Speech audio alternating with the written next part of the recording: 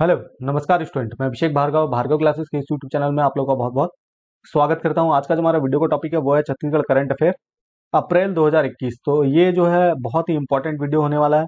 इसके अंदर में जितने भी अप्रैल माह के जो करंट अफेयर हैं, जो कि इंपॉर्टेंट है, सिर्फ़ वही लिया गया है। तो आप लोग शुरू से लेकर लास्ट तक वीडियो को ज़रूर देखिएगा। तो चलिए वीडियो स्टार्ट करते हैं।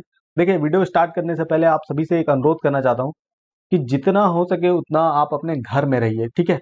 बहुत ज़्यादा ज़रूरी हो, तभी आप घर से बाहर जाइए। और घर से बाहर जाते समय भी आप मास्क और सैनिटाइजर का यूज़ ज़रूर करिए। देखिए, ये महामारी जो है वो बहुत तेज़ी से जो है वो बढ़ रही है और फैल रही है। तो प्लीज़ आप सभी से निवेदन है कि आप अपने घर में रहें, सुरक्षित रहें, सोशल डिस्टेंसिंग का पालन करें, ठीक है? और घर में रहकर ही अपनी जो है वो पढ़ाई करें। बहुत ज़्यादा ज़रूरी हो, तभी घर से बाहर निकलें, ठीक? मेरी भी तबीयत खराब थी पिछले कुछ दस दिनों से, इसीलिए मैं आप सभी से अनुरोध करना चाहता हूँ कि प्लीज़ अपने अपने घर में रहिए और वीडियोस देखिए और अपनी पढ़ाई की जो है वो तैयारी करिए, ठीक? तो चलिए वीडियो स्टार्ट करते हैं।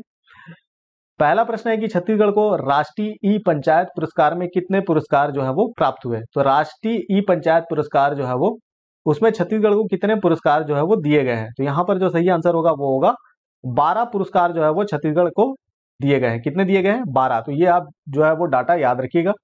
थोड़ा सा इसके बारे में डिटेल में बात करते हैं। तो केंद्रीय पंचायती राज मंत्रालय द्वारा दिए जाने वाले राष्ट्रीय पंचायत पुरस्कार। तो अब आपको यह भी याद रखना है कि इसको कौन देता है? तो केंद्रीय पंचायती राज मंत्रालय द्वारा इस अवार्ड को जो है वो दिया जाता है, ठीक है? के अंतर्गत छत्तीसगढ़ को 12 पुरस्कार जो है वो प्राप्त हुए हैं। प्रधानमंत्री नरेंद्र मोदी ने राष्ट्रीय पंचायती राज दिवस के मौके पर नई दिल्ली में आयोजित वर्चुअल समारोह में विजेता पंचायतों के खातों में पुरस्कार राशि ऑनलाइन अंतरण किया है। तीन अलग अलग वर्गों में दिए जाने वाले इस पुरस्कार में छत्तीसगढ़ को प्रथम वर्ग मतलब कैटेगरी वन में, असम के साथ में संयुक्त रूप से दूसरा स्थान जो है वो प्राप्त हुआ है। तो ये भी आपको याद रखना है कि कितने टोटल पुरस्कार प्राप्त हुए तो बारह। और जो है वो एक कैटेगरी है वन उसमें असम के साथ में संयुक्त रूप से छत्तीसगढ़ को दूसरा स्थान दिया गया है। तो ये भी आपको जो है वो याद रखना है, ठीक है? तो ये दो चीज़ों को इनमें याद रखिएगा, ठीक? दूसरे प्रश्न की तरफ़ चलते हैं। दूसरा प्रश्न भारत से रिलेटेड है। कि भारत वैश्विक ऊर्जा रूपांतरण सूचकांक में कौन से स्थान पर है? तो देखिए, भारत वैश्विक ऊर्जा रूपांतरण सूचकांक में 87 नंबर पर है। देखिए, जितने भी इंडेक्स होते हैं, मैंने आपको कई बार कहा है कि इंडेक्स जो है, वो बहुत ज़्यादा इंपॉर्टेंट होते हैं। चाहे वो भारत के हों, चाहे वो छत्तीसगढ़ के हों, ये एग्ज़ाम में पूछे जाते हैं। तो सारे इंडेक्स जो है, वो आपको हमेशा याद रखने पड़ेंगे, ठीक है? तो भारत ऊर्जा रूपांतरण सूचकांक में 115 देशों की सूची में 87 स्थान पर है। यह सूचकांक विभिन्न पहलुओं के आधार पर देशों की ऊर्जा प्रणालियों के वर्तमान प्रदर्शन पर नज़र रखता है। विश्व आर्थिक मंच की 21 अप्रैल 2021 को जारी रिपोर्ट के अनुसार ईटीआई के बारे में जानकारी दी गई। यह रिपोर्ट एसेंजर के साथ में मिलकर जो है वो तैयार की गई थी। और इसमें जो है शीर्ष देश को भी आपको याद रखना है कि सूचकांक में शीर्ष 10 देशों में पश्चिमी और उत्तरी यूरोप के देश हैं, जिसमें सूची में स्वीडन जो है वो पहले स्थान पर है, जबकि नॉर्वे और यूरोप के क्रमशः दूसरे और तीसरे स्थान पर है, ठीक? तो याद रखिएगा। तीसरा प्रश्न है कि खेलो इंडिया यूथ गेम्स 2021 की मेजबानी कौन सा राज्य करेगा? तो यहाँ पर जो सही आंसर होगा, वो होगा हरियाणा। हरियाणा जो है वो खेलो यूथ 2021 की मेजबानी जो है वो करेगा। तो हरियाणा के मुख्यमंत्री कौन है? मनोहर लाल खट्टर और केंद्रीय खेल मंत्री किरण रिजिजू ने शनिवार को घोषणा की कि 2021 में आयोजित होने वाले खेलो इंडिया यूथ गेम्स के चौथे सत्र की मेजबानी जो है वो हरियाणा करेगा। ये जो है खेलो इंडिया जो है वो 2018 से जो है वो चल रहा है तो ये चौथा इसका जो है वो टाइम होगा। ठीक है तो याद रखिएगा, चौथा जो है वो हरियाणा जो है आयोजित करेगा। चौथा प्रश्न है कि बिलासपुर की पर्वतारोही जिन्होंने हाल ही में अफ्रीका की सबसे ऊँची चोटी माउंट किलीमंजारो पर जो है वो तिरंगा फहराया। देखिए, यहाँ पर जो है प्रश्न में थोड़ा सा ध्यान दीजिएगा। यहाँ पर मैंने पूछा कि बिलासपुर की पर्वतारोही, इसलिए मेंशन किया है क्योंकि अभी अभी जो है अमिता सिरवास भी जो है वो, जो है वो किली मंजारों पर जो है वो फतेह की है। इसलिए मैंने यहाँ पर बिलासपुर डाला है। तो यहाँ पर अमिता सिरवास आंसर नहीं होगा, यहाँ पर आंसर होगा निशु सिंह। निशु सिंह ने जो है वो अभी अभी जो है वो माउंट किली पर जो है वो तिरंगा लहराया और ये कहाँ की रहने वाली है? बिलासपुर की। ठीक है? तो इन पे थोड़ा सा ध्यान रखिएगा, मैं डिटेल आपको बताता हूँ। छत्तीसगढ़ के बिलासपुर की पर्वतारोही निशु सिंह ने अफ्रीका के तंजानिया स्थित सबसे ऊँची चोटी माउंट किलीमंजारो पर तिरंगा झंडा लहराया। माउंट किलीमंजारो की ऊंचाई लगभग पाँच हज़ार आठ सौ पंचानवे मीटर है, ठीक है? तो आपको ये भी याद रखना है, ठीक? ये कई बार एग्जामों में क्वेश्चन जो है वो, या हमने करंट अफेयर में कई बार जो है वो इससे रिलेटेड क्वेश्चन किए हुए हैं। निशु ने यह कीर्तिमान 22 अप्रैल 2021 को हासिल किया, इसलिए ये इंपॉर्टेंट हो जाता है। इससे पहले जो है वो चित्रसेन साहू, ठीक है? इन्होंने जो है माउंट किलीबंजारो पर जो है वो तिरंगा फहराया। उसके बाद जो अमिता सिरवाज जो कि छत्तीसगढ़ की पहली महिला थी जिन्होंने माउंट किली किलीबंजारो पर जो है वो तिरंगा फहराया। तो ये तीन नाम जो है वो आपको याद रखना है। ठीक है कि इन्होंने जो है वो तिरंगा फहराया माउंट किलीमंजारो पर। ठीक है, उसकी ऊंचाई भी आपको थोड़ा सा ध्यान में रखना है। इसके बाद पांचवा प्रश्न है कि छत्तीसगढ़ में वीरनी पुरस्कार से किस पुलिसकर्मी को जो है वो सम्मानित किया गया? यहाँ पर पूछा गया है कि किस पुलिसकर्मी को। ठीक है तो कौन सी पुलिस कर्मी जिनको सम्मानित किया गया वीरनी पुरस्कार से? तो ये है अंकिता गुप्ता। इनका नाम आपको याद रखना है और जो मैं नीचे डिटेल में नाम बताऊँगा, वो भी आपको याद रखना है। तो छत्तीसगढ़ के कवर्धा ज़िले में पुलिस बल में महिला आरक्षक अंकिता गुप्ता का नाम वीरनी पुरस्कार के लिए जो है वो चुना गया है।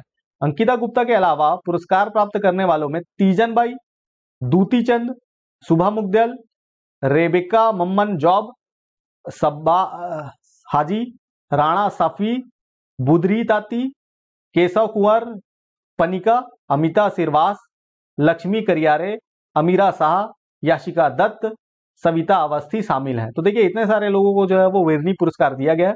तो आपको कुछ चुनिंदा नाम जो है वो याद रखने हैं, जैसे कि तीजन बाई दूती चंद ठीक है, इनके नाम ही याद रखेंगे तो ये बहुत हो जाता है। या महिला या आरक्षक अंकिता गुप्ता का नाम, ठीक है? यह पुरस्कार अलग अलग क्षेत्रों में काम करने वाली महिलाओं के को जो है वो दिया जा रहा है, जो समाज के बीच रचनात्मक कार्य करते हुए आगे बढ़ रही हैं, ठीक है? तो कुछ नाम जो है वो आप याद कर लीजिएगा, ठीक? छठवा प्रश्न है कि छत्तीसगढ़ के मशहूर रंगकर्मी, जिनका हाल ही में निधन हो गया। देखिए, ये बहुत ज़्यादा मशहूर थे, ठीक है? तो इनका नाम आपको हमेशा याद रखना है और ये क्वेश्चन हो सके तो एग्ज़ाम में पूछा भी जाएगा। तो इनका नाम है दीपक विराट तिवारी, ठीक है? बहुत फ़ेमस पर्सनालिटी थे ये। तो इनको आपको याद रखना है, मशहूर रंगकर्मी, जिनका हाल ही में निधन हुआ, दीपक विराट तिवारी। इनके बारे में देखिए, कुछ डिटेल भी आपको थोड़ा सा याद रखना पड़ेगा। तो मशहूर रंगकर्मी दीपक विराट तिवारी का लंबी बीमारी के बाद में निधन हो गया। प्रसिद्ध रंगकर्मी हबीब तनवीर के नया थिएटर में दीपक ने लंबे समय तक जो है वो नाटकों में भूमिका निभाई थी। दीपक को रंगकर्मी और संगीत ना, नाटक अकादमी पुरस्कार से सम्मानित किया जा चुका है। ठीक है तो ये याद रखिएगा। अंतिम समय में अपने परिवार के साथ राजनांदगांव में थे। देश के प्रसिद्ध रंगकर्मी हबीब तनवीर के नाटकों में दीपक विराट तिवारी दबंग किरदार निभाते थे। मशहूर नाटक चरणदास चोर में चोर का जीवंत किरदार निभाकर दीपक ने नाट्य कला के क्षेत्र में विश्व में अपनी अलग पहचान जो है वो बना ली थी। तो ये जो है, इनका किरदार जो है सबसे ज़्यादा मशहूर था। चोरी के इस हुनर के लिए दीपक को देश के राष्ट्रपति रामनाथ कोविंद ने संगीत नाटक एकेडमी पुरस्कार से जो है वो इनको सम्मानित किया था। तो बहुत ही इंपॉर्टेंट क्वेश्चन है, ये एग्ज़ाम में पूछा ही जा सकता है। तो याद रखिएगा, दीपक विराट तिवारी। सातवां प्रश्न है कि इंस्पायर अवार्ड मानक योजना में छत्तीसगढ़ को कौन सा स्थान जो है वो प्राप्त हुआ? तो इंस्पायर अवार्ड मानक योजना में छत्तीसगढ़ को जो है वो तीसरा स्थान जो है वो प्राप्त हुआ है। ठीक है? तो याद रखिएगा तीसरा स्थान।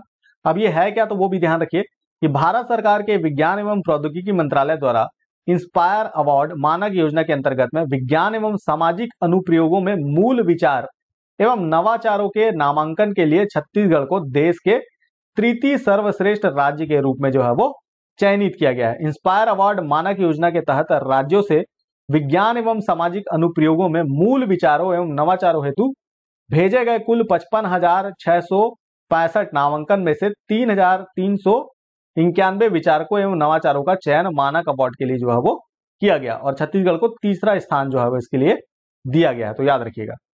आठवां प्रश्न है कि हाल ही में छत्तीसगढ़ की किस राजनेता का निधन हो गया? तो आप सभी इनको बहुत अच्छे से जानते हैं, ठीक है? इनका नाम है करुणा शुक्ला, ठीक है? इनका निधन हुआ करुणा शुक्ला का। पूर्व प्रधानमंत्री अटल बिहारी वाजपेयी की भतीजी और कांग्रेस नेता करुणा शुक्ला का सोमवार को जो है वह निधन हुआ। कोरोना संक्रमण के कारण वे रायपुर के रामकृष्ण हॉस्पिटल में जो है वो भर्ती थी। करुणा शुक्ला वर्तमान में समाज कल्याण बोर्ड की जो है वो अध्यक्ष थी। तो ये पॉइंट याद रखिएगा, समाज कल्याण बोर्ड की जो है वो अध्यक्ष थी। इससे पहले वह लोकसभा सांसद भी थी वह भाजपा की राष्ट्रीय उपाध्यक्ष सहित तमाम बड़े पदों पर रही है।